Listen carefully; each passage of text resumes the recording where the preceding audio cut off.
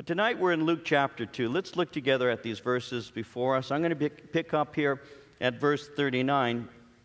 And uh, I'll just read verses 39 and 40, and then we'll get into our study as we continue our verse by verse study here in the book of Luke in chapter 2. Beginning at verse 39, Luke writes So when they had performed all things according to the law of the Lord, they returned to Galilee, to their own city, Nazareth.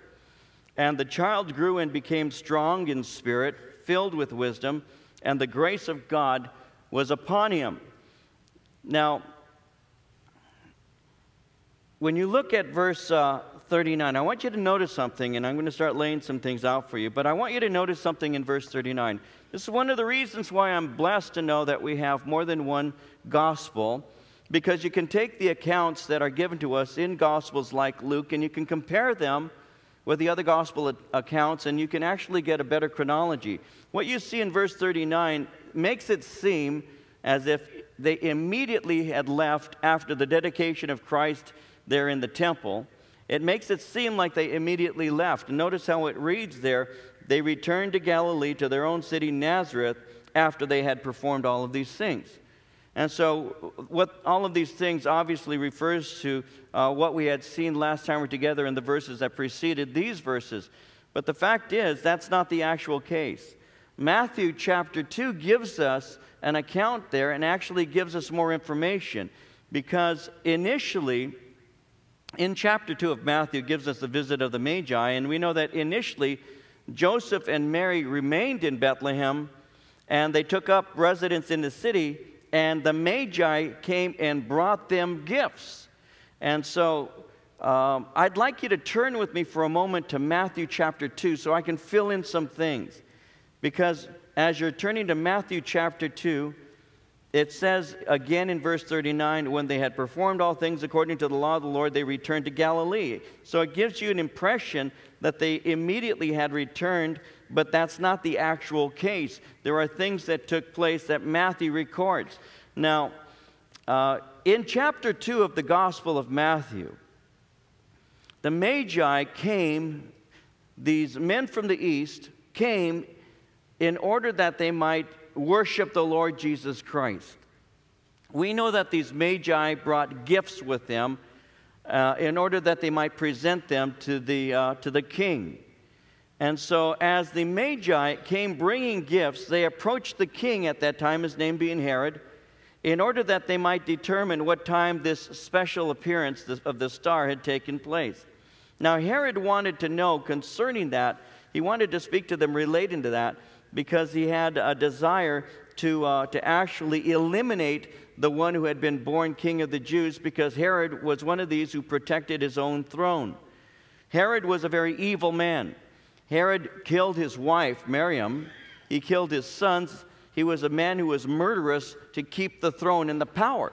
So when the Magi came saying that they wanted to come to worship the one who has been born king, when they came, he thought, well, because he had been appointed the king by Rome, that there was somebody who had the actual claim to the throne. And because of that, he was very upset and wanted to, uh, wanted to have uh, Jesus put to death. Notice with me in chapter 2, verse 8, it says, He sent them to Bethlehem, and He said, Go and search diligently for the young child, and when you have found him, bring back word to me that I may come and worship him also. So he determined the time and the approximate age of, of Jesus Christ and, and uh, sends them there with uh, really the desire for them to bring back information to tell him exactly where Jesus is so that he might do something uh, deliberately to take his life. Notice verse 11. It says, When they came into the house, they saw the young child with Mary, his, his mother, and fell down and worshiped him. And when they had opened their treasures, they presented gifts to him gold, frankincense, and myrrh. Then, being divinely warned in a dream that they should not return to Herod, they departed for their own country another way. Now, when they had departed, behold, an angel of the Lord appeared to Joseph in a dream, saying, Arise Take the young child and his mother, flee to Egypt, and stay there until I bring you word, for Herod will seek the young child to destroy him. When he arose, he took the young child and his mother by night and departed for Egypt, and was there until the death of Herod, that it might be fulfilled which was spoken by the Lord through the prophet, saying, Out of Egypt I have called my son. And so, by combining Luke with Matthew, we can piece this picture together. After Jesus was born in Bethlehem, Joseph and Mary take up temporary residence in the city. They live in Bethlehem for up to two years. Because, and I want you to notice this, this reason I turned you here, because Jesus is referred to in this passage as a young child.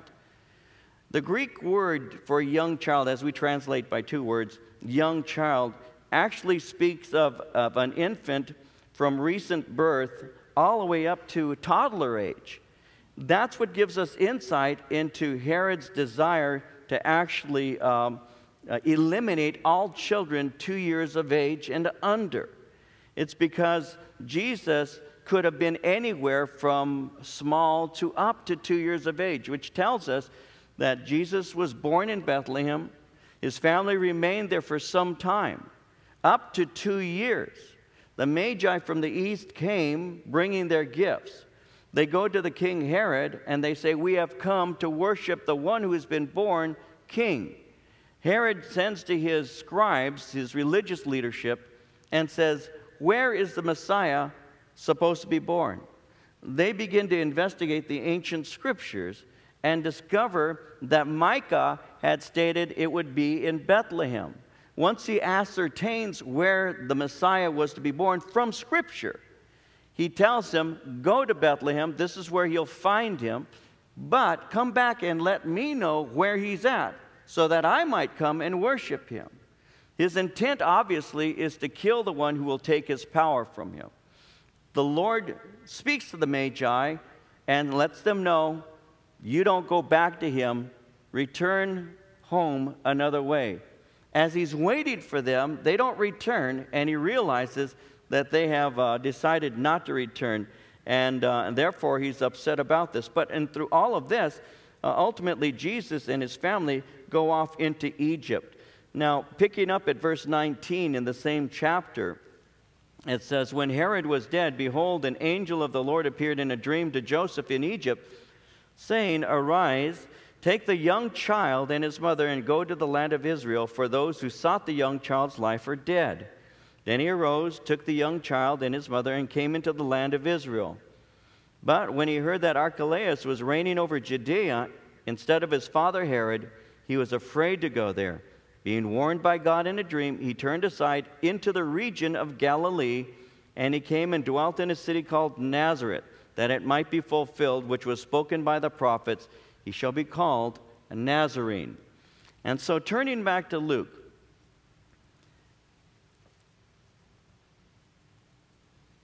they live in an unnamed location in Egypt, ultimately being told to return. As Joseph and Mary and the young child are returning, their intent is to go back to Bethlehem. There's probable good reason for that. One of it being, one reason being that in Nazareth, where they're from, Mary was not respected because she had become pregnant prior to marriage. So it would seem that Joseph, uh, Joseph's intent was simply to return to Bethlehem. But the Lord said, No, that's not where you're going to be. You need to go back up into Nazareth.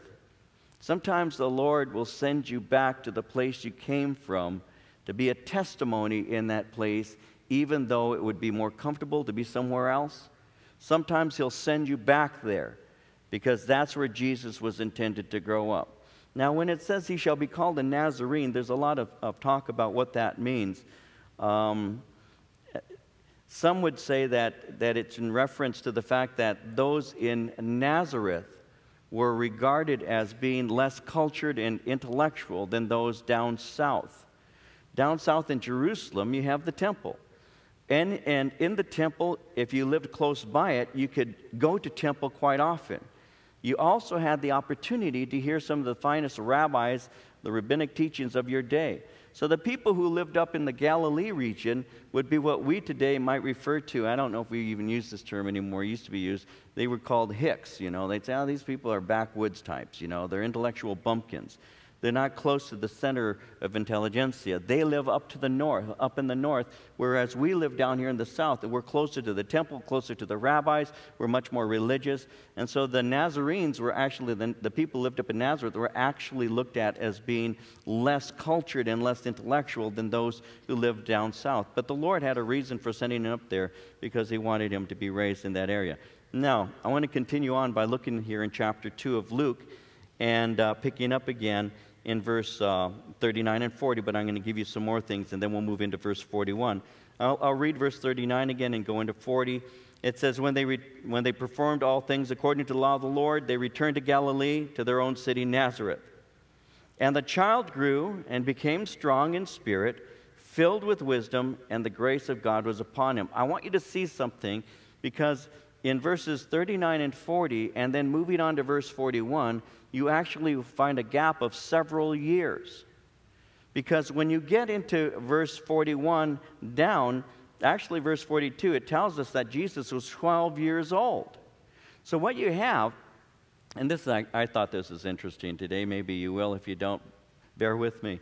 Um, there are no accounts in Scripture of the events of the life of Christ for several years for several years. I mean, we know that he's probably somewhere around two years of age or so, but you have a gap of no less than 10 years uh, between verse 40 and verse 42. So, what I find interesting about this is after Jesus Christ died, was buried, and was resurrected, there were myths that began circulating concerning him. There are actually hundreds of myths that have been chronicled. But some of the myths were, uh, you know, speaking about events in the life of Jesus as a child. There are some who believe that Jesus, as a child, actually went to various places and learned various things. I've heard stories of Jesus going to India to sit under the Indian masters so that he might gain esoteric knowledge. There were, there were uh, pseudo, they call them pseudo gospels that were written. Um, you know, within 100 years after the death, burial, and resurrection of Jesus. Uh, one of them is called uh, Pseudo Matthew. The other one is called the Gospel of Thomas. There's a variety of others like that. And as I was preparing this, I began to think how interesting it is that there have been stories that are actually documented. I, I, I wrote something down for you just to show you what I'm talking about because these are myths about Jesus' childhood. For example, the Gospel of Pseudo Matthew uh, recorded something. Uh, it says, uh, the, child, the child Jesus, who was sitting with a happy countenance in his mother's lap, said to a palm tree, Bend down your branches and refresh my mother with your fruit. And immediately at this command, the palm bent down to the feet of the Blessed Mary, and they gathered from its fruit, and they all refreshed themselves. Uh, the apocryphal Gospel of Thomas in chapter 2, verse 1 says that Jesus made soft clay and, and uh, modeled 12 sparrows from it. Uh, going on, it says, Jesus clapped his hands and cried to the sparrows, Begone, and the sparrows flew off chirping. So there were stories like this about Jesus doing miracles that were already being circulated. Uh, what is interest is, interesting is, and this I found interesting, is the Quran. The, the book that the Muslim uses actually used Thomas, the Gospel of Thomas, which is a discredited gospel. They used the Gospel of Thomas uh, and, and took something from it. And uh, in Surah 5, 110, it says, By my leave, you, Jesus, fashioned the shape of a bird out of clay, breathed into it, and it became, by my leave, a bird. And so what you end up with is the Quran quoting sources that, uh, that actually were, were, were not, are not biblically correct. Um, in Surah 19, 30 and 31, it says, uh, when Jesus was a baby, it says, the child spoke out, I am a servant of Allah. He has given me the book and he has appointed me a prophet and he has made me blessed wherever I go. I don't know if you know this, but the uh, Quran teaches that Jesus was a Muslim and that he actually was under the inspiration of, of Allah. He was, uh, he was a prophet of the Muslim faith. I don't know if you know that or not. You find that in the Quran. Actually, I didn't quote all of uh, Surah 19 uh, 30 and 31 because it goes on to say that he gives gifts and he makes prayers in the Muslim fashion. And so, what he had done, what Muhammad did, is he had heard uh, stories from traders who had come through where he lived, and he began to collect those, and he wrote them down and presented them, even in the Quran, as being Word of God. But the reality is, is this is from the Gospel of Thomas and other myths that were being circulated. The whole point of me telling you this is so that you might realize that what you really have is you have silent ears in the life of Jesus Christ. There have been tons of people who have tried to say, oh, he did this and he went there, but none of that is recorded in Scripture. Now, as a Christian, the only thing I can do is hold to the, to the pr- primary source. The primary source is the Word of God. Anytime you get caught up with anything else, you're going to have some problems. When you're in the Word of God, when you remain close to it and you study it and use it to cross reference itself, you're going to remain safe. But when you begin to pick up stories that are from other sources, that's when you find error and that's where you have contradiction. That's the reason why I took the time to try to take you to Matthew to say a few things about this so that you might know that by taking Scripture and comparing it with Scripture, you can find the truth of the matter. But if you go outside and pick up other sources, you're always going to find yourself in error. What we have here is a picture of Jesus Christ growing, and he grows in a normal way. I want to show you some things that I think we we can apply. In verse 40, it says, The child grew and became strong in spirit, filled with wisdom, and the grace of God was upon him. What we see here very simply is this Jesus grew physically. Speaking of him being an infant into young adulthood, at the age of 12, a young boy growing into manhood, he grew physically. Notice it says he grew strong in spirit. When it says he grew strong in spirit, it speaks of his character. We'll look at that in just a moment.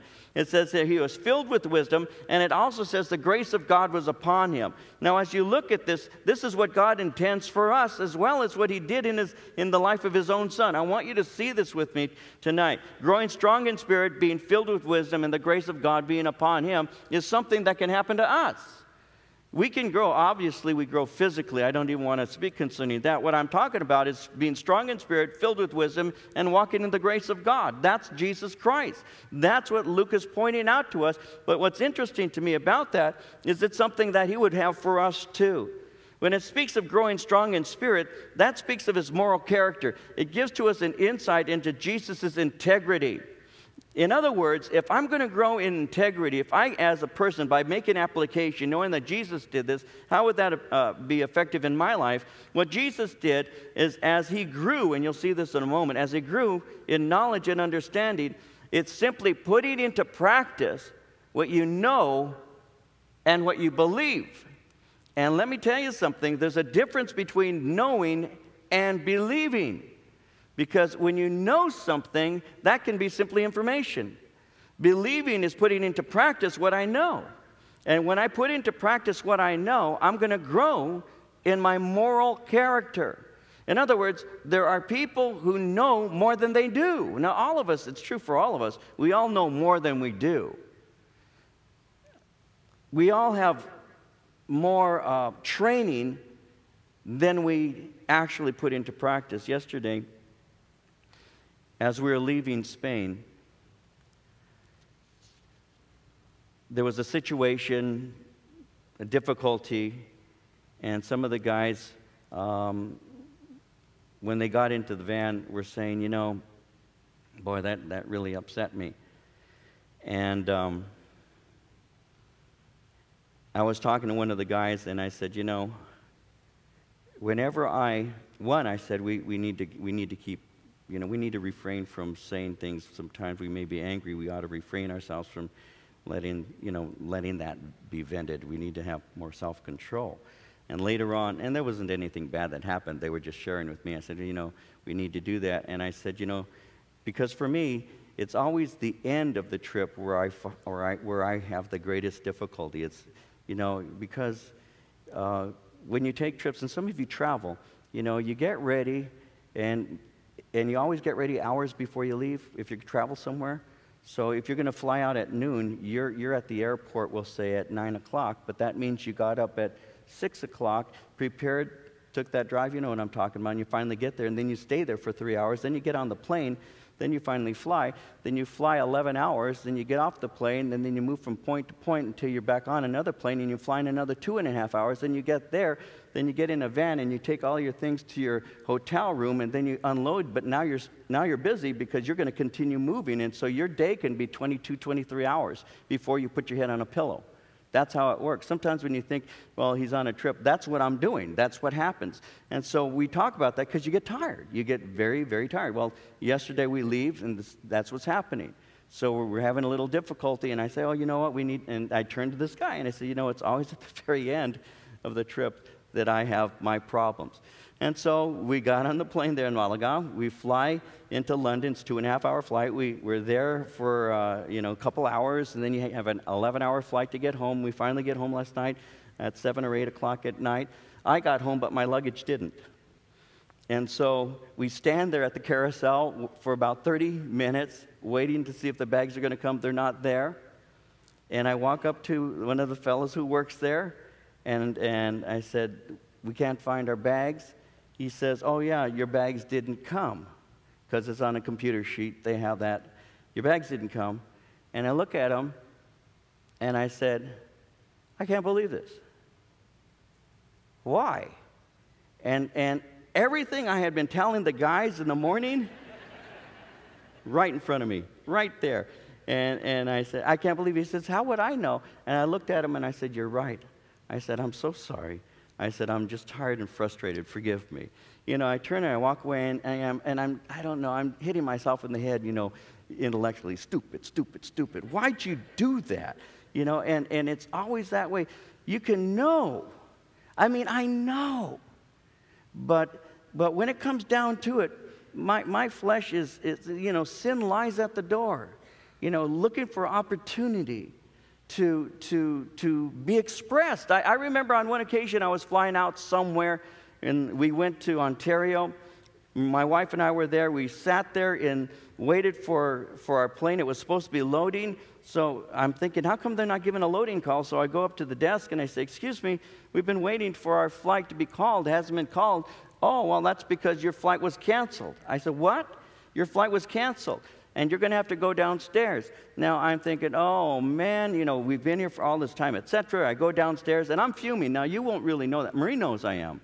You know, Marie knows I'm fuming. I'm, I'm standing there in, in line going, I can't believe, I can't believe this. And we had to go to Los Angeles. And here we are in Ontario, and I'm going to be late, and I'm fuming.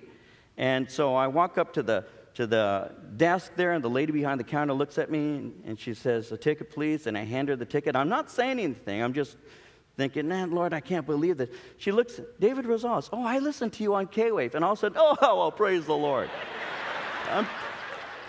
what a hypocrite. You know, oh, glory, glory. What a hypocrite. I mean, the Lord, you know, poor Marie, she said that. No, uh, that was me. But I'm, I'm, just standing there going, oh, Lord, you, you're so, you're too much. I mean, you get me every time, every time you get me. You know, you know more than you do. Jesus was somebody who never had that breaking connection, ever.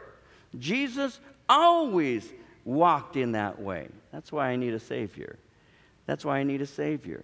But I see in this passage here that I can grow in spirit and I can become uh, better than I am. In, in Proverbs 20, verse 7, the Bible says, The righteous man walks in his integrity and his children are blessed after him. So Jesus grew strong in spirit.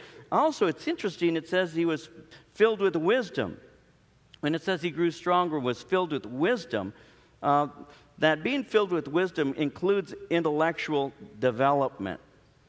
It's interesting to note that Jesus Christ was fully human as well as fully God. Being fully human, he actually obtained information in the normal way that you and I do. The normal way, which comes through study, it comes through prayer, and, and it came through meditation and memorization. Jesus Christ, in other words, when he was born,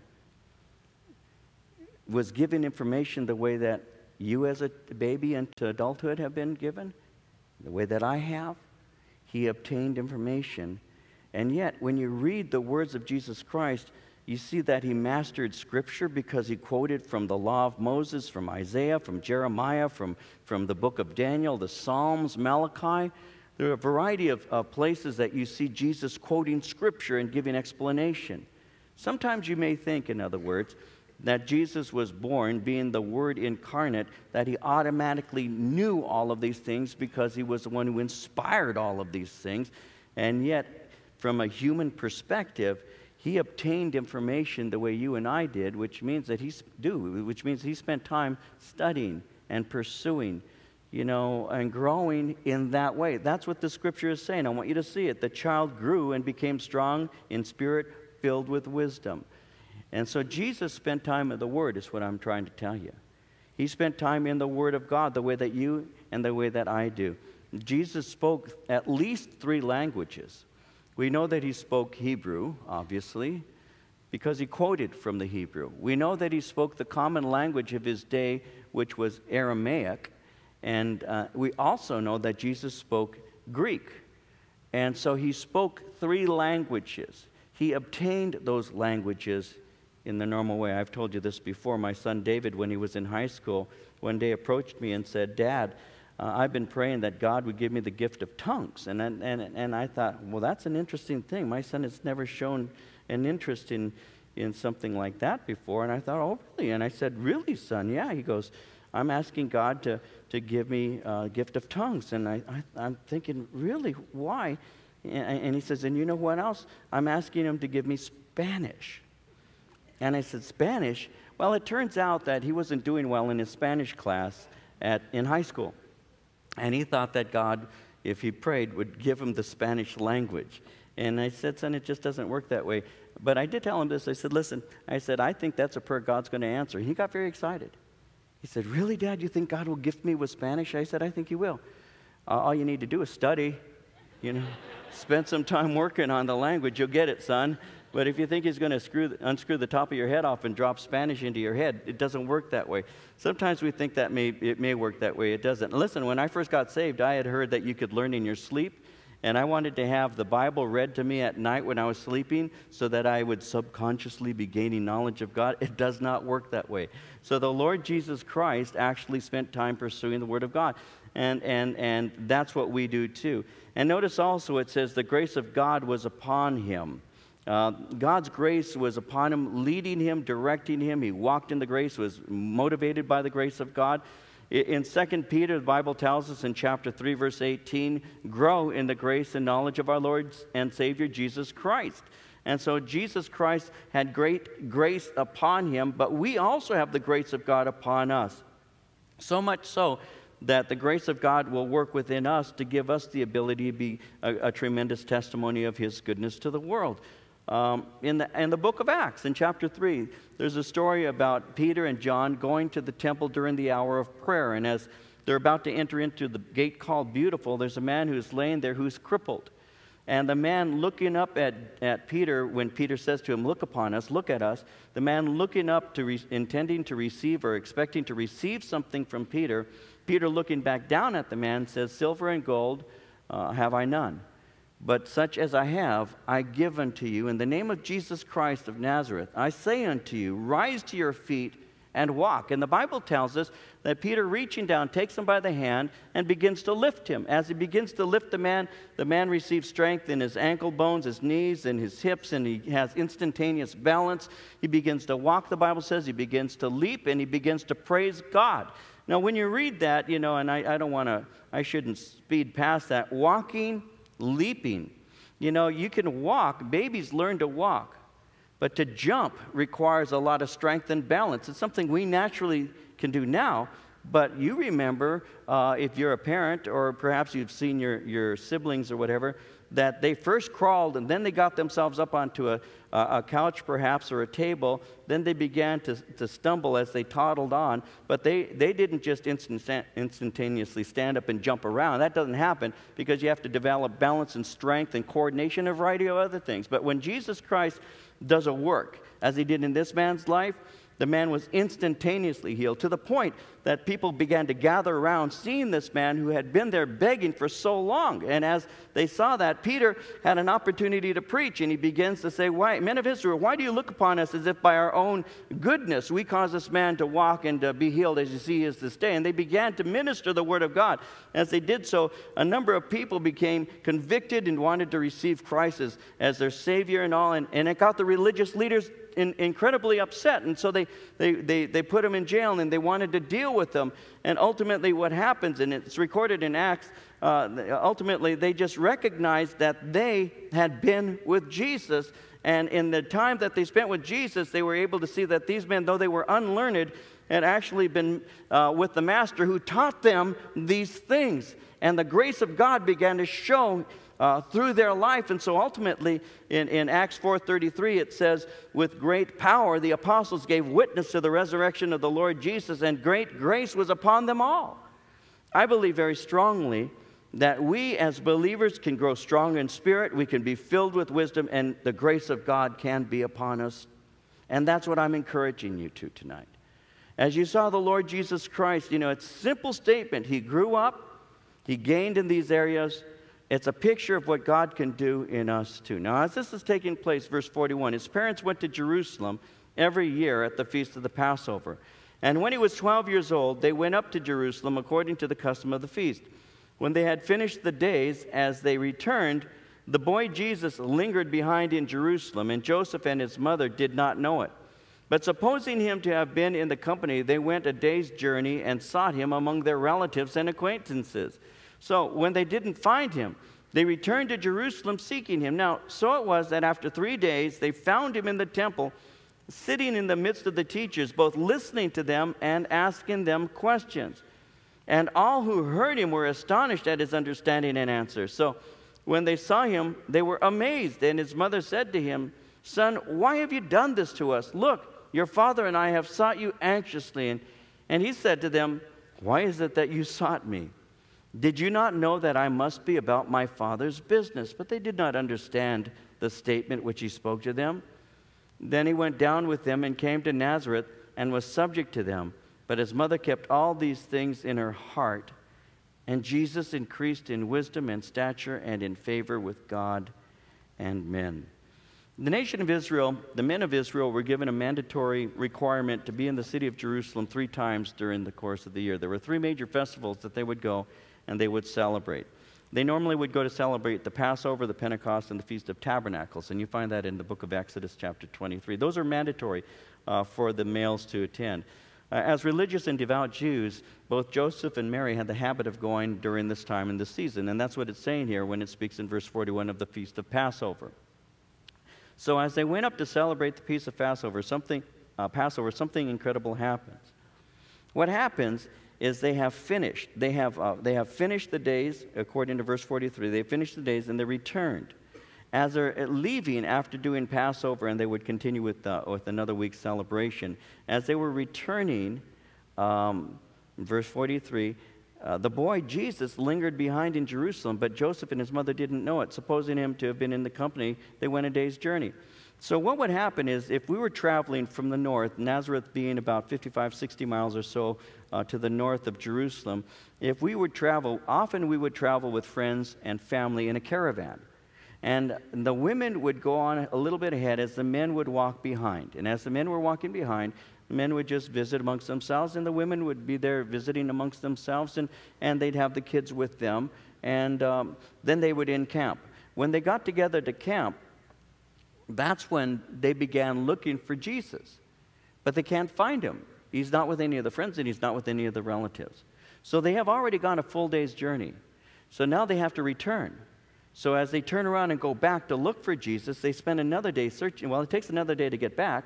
Then they go into the third day and they're looking for Jesus Christ. And, and so what they ultimately do is as they're looking everywhere for them, you can imagine for a moment if you were a, a dad or a mom and you have a 12 year old that's missing you can imagine the panic that would go on in your heart at that moment. And, and the city is filled with, with, with many pilgrims and all, and, and you get greatly concerned. And that's what's taking place.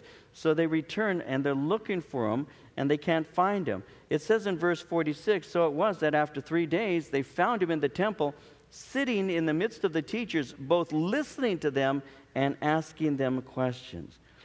Now, after the festivals, the doctors of the law, the rabbis, would, would actually sit around in the open and they would discuss theology. And as these eminent uh, professors of the law would, would gather, uh, the people were given the freedom at that time to come and to, to uh, just sit amongst them.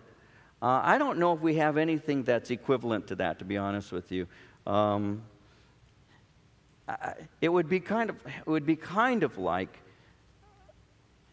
Calvary Chapel having a, a, pastors' conference. We have our pastors' conferences where the senior pastors from all over the United States will gather, and we have that every year in June. And so there'll be, um, there'll be hundreds of pastors. And the pastors gather together, and we receive teaching and all of that, and we have fellowship. It would be kind of like you as a person who, um, who serves the Lord but, but are not in, in pastoral ministry, you being able to come and there's Pastor Chuck and some of the, the people that have influenced your life that you, that you respect. And it would be like Chuck and several of the guys just around talking and sharing, but you're, of in, you're interested in what they're talking about because you love the Lord and, and you'd like to gain some insights. And, and, and, and I have some questions I'd like to ask. And it'd be great to ask Pastor Chuck these questions. And so at a certain point, um, you know, they would turn and say, Is there anything that you would like to ask. And you have your opportunity at that time to say, you know, I was just wondering about this. That's what would take place.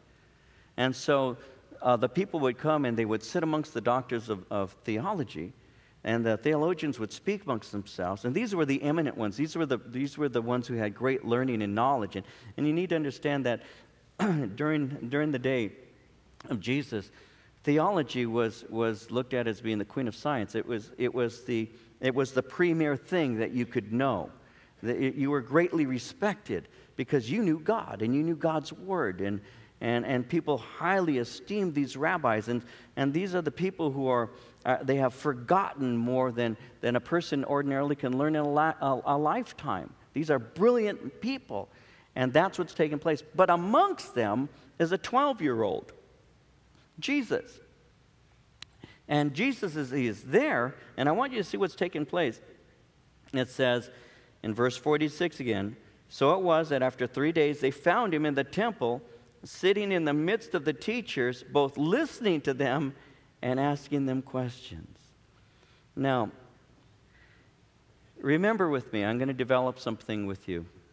Jesus, according to what we were just reading in verse 40, Jesus grew strong in spirit, in wisdom, and in the grace of God. His being in the temple, doing what he's doing, is an evidence of that. How many 12 year olds do we know who would find, and I pray that if you have a 12 year old, that, that he or she is like this, but how many 12 year olds do we know who would actually prefer being in a theological discussion than playing Game Boy or something? I mean, how many do you really know like that? How many are there like that?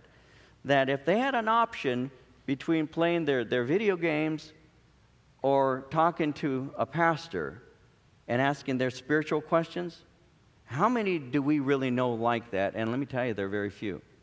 And so that's where Jesus is at the age of 12, which gives me insight into his hunger for the things of God the Bible tells us in Psalm 27, verse 8, when you said, Seek my face, my heart said to you, Your face, Lord, I will seek. That was Jesus. When you said, Seek my face, my heart said, I will seek your face. That's my desire. That's a premier hunger of my heart. Jeremiah 15, 16 says, Your words were found, I ate them. Your word was to me the joy and rejoicing of my heart. I am called by your name, O Lord God of hosts. My desire is to know you, to know your word, to have fellowship with you. Listen, if you have a heart like that, God will satisfy your desire. If you desire the things of the Lord, God will give you the desire of your heart. You make that determination that I will pursue you. Lord, I will find you as I seek you, and you will open up my eyes to understand wondrous things from your law. God will do that in your life. See, the problem I think that many of us have is we have our eyes set on too many things. There are too many distractions from me, for me. And so what happens is, is I love the Lord, but I don't know that I always love him with all of my heart. Jesus undoubtedly had this incredible hunger for the things of his Father. So where's he going to be? He's going to be in his Father's house. That's where he's going to be. There's that hunger to be with him. There's that hunger to be around the things of the Lord. I was gone for several days, as you know. I haven't seen my grandson, Josiah. Uh, I come into the office today and my daughter comes in, and I hear a pounding on my door, you know, a pounding on the door. And I open the door, because I know who it is, and I open the door, and here comes my grandson running into the room and jumps into my arms, and I swing him around and I kiss his face, and I'm so happy to see him because I love him so much and I miss him so much. When you said, Seek my face, your face, O oh Lord, I will seek. I understand that. I understand that connection. I want to be close to the Lord. The way my Josiah missed Papa, and I would call and I would say, Hi, baby, how are you? And he'd say two things Are you still in Spain? And are you coming home tomorrow? Are you still in Spain, Papa? Are you coming home tomorrow? So Corinne said, He missed me terribly. And I see that. I see that. Now, if my grandson wants to come just to be held by Papa for a little while, I want to be like that with the Lord. I want that in my heart. And that's how Jesus was. For him, to, you know, it, I, was, I, was, I rejoiced and I, I was blessed and, and looked forward to just being in the house of the Lord. And so that's the heart of Jesus Christ. But I want you to see something else. Jesus is seated there in their midst. Notice how it says, both listening to them and asking them questions. Now, the word listening, listening to them and asking them questions, the word listening means to consider what is being said. It speaks of perceiving, comprehending, understanding. In other words, Jesus listened carefully and perceived what they're saying. Once again, there needs to be something within you, deep calling unto deep, something within you that says, even if I don't understand it right now, I want to understand this. I want to perceive. So I listened very carefully so that I might hear what's being said so that I might understand. Well, that's what Jesus was doing. Jesus was listening, and as they spoke the word of God, he was carefully weighing what they were saying.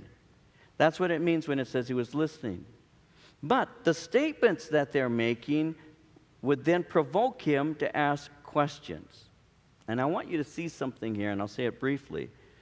But when it says in verse uh, 46 into 40, uh, verse 47, both listening to them and asking them questions, all who heard him were astonished at his understanding and answers. Part of the way that you see an intelligence in somebody is, is the kinds of questions they ask. The kinds of questions they ask, especially as they're growing older, can give to you a perception of the depth of that person. And when Jesus was asking questions of them, it was the response to what they were saying. So as they would say something, Jesus would respond with a question Well, how is it? How is it that? And they were, you know, let's, okay, I'll put it like this.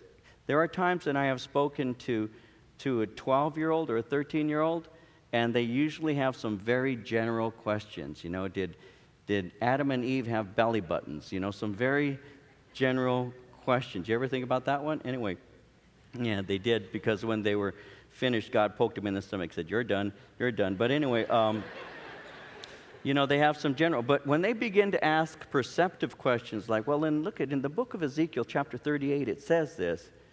That kind of question is a lot more, it shows a lot more inquisitiveness and intelligence and it causes me to take a step back and say, I'm dealing with somebody who really thinks and listens, and you respect that because you see a degree of intelligence and wisdom in this person that you're not used to seeing.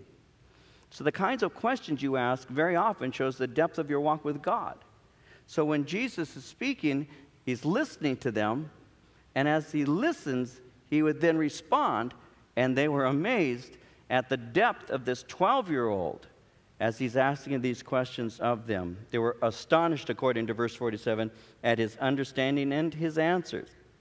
They were unable to answer his questions, but when they questioned him, he answered theirs, and it amazed them. As a matter of fact, his wisdom amazed them not only at the age of 12, but all through the rest of his life. You know, in, uh, in John chapter 7, verse 15, uh, Jesus was dealing with some uh, people, and the Jews marveled, saying, How does this man know letters, having never studied? How does this man know the ancient scriptures? having never gone to any of our seminaries, having never gone to any of our, uh, our programs. He's, he's, never, he's not associated with us in this way, but, but he knows God's word. How did he gain this understanding? Listen, if you spend time in the Word of God, you will be amazed at how you can amaze other people just from your knowledge of Scripture. You'll be surprised at how many people have been in church for many years who don't know the Bible. And if you study the Word of God, you may even amaze people. And that's what Jesus did. Now, Luke, remember, Luke had told us that Jesus grew in wisdom, and he also spoke concerning the grace of God being upon him. In Isaiah chapter 50, verses 4 and 5, uh, Isaiah writes, The Lord God has given me the tongue of the learned, that I should know how to speak a word in season to him who is weary. He awakens me morning by morning. He awakens my ear to hear as the learned. The Lord God has opened my ear. I was not rebellious, nor did I turn away. That's a messianic scripture speaking of the Messiah Jesus. When we were in, uh, I was going to, the college, I was going to Azusa Pacific University a number of years ago, taking a, taking a class there. And uh, Jeff Johnson and I were in a particular class. Jeff Johnson's a pastor of uh, Calvary Chapel of Downey. And he and I were seated in this class, and we were in this class with several other pastors. Now, this was many years ago. I was in my in my 30s at that, at that time. And, and as we were there in class, uh, we had a, an older pastor who had been in the ministry for, for many years, and uh, over 30 years in ministry. And uh, he pastored a, a, fellowship in, in the uh, area there in Azusa. And I remember he finally, after several weeks of class, he finally turned and he looked at Jeff and he looked at me and he said, I just want to ask a question. And it was in the class. And so he said, I just want to ask a question. And, uh, and, he, and, the, and the professor, Dr. Grant, said, okay. And so he turns and looks at Jeff and me and he says, I just want to know why. And, and Jeff and I were seated next to each other, so I remember looking at, at Jeff and looking back at him, and I said, Why what? He said, I just want to know why your churches grow. And, and I looked at him, and we didn't have an answer for him. You know, we didn't have an answer for him. I don't know why, but I know now because the grace of God is upon you. Because God's grace is what does the work. And, and this man wanted some technique. He wanted to know what is it that you do? Give me five things that I can do so my church can grow. We had no clue about that. We just looked at him, and, with, and neither Jeff nor I had an answer for him because you know what? It's God's grace. And yet it still causes people to marvel. It still does it still causes people to look and say, How come something's happening over there? You know what it is? It's the grace of God. It always will be. And so, as the Lord was ministering there, he was, he was ministering through the grace of God. Now, as this is taking place, they're being amazed. Verse 48 when they saw him, um, they were amazed. Now, his mother said to him, Son, this is like mom, isn't it? Why have you done this to us? Look, your father and I have sought you anxiously. And he said to them, Why is it that you sought me? Did you not know that I must be about my father's business? Listen, Mama, I love you with all of my heart. But you've forgotten who I am. One, when you say, My father was looking for me, Joseph's not my father. If you're wondering if, I, if you're wondering if I'm with my father, the answer is yes. I am with my father in his house.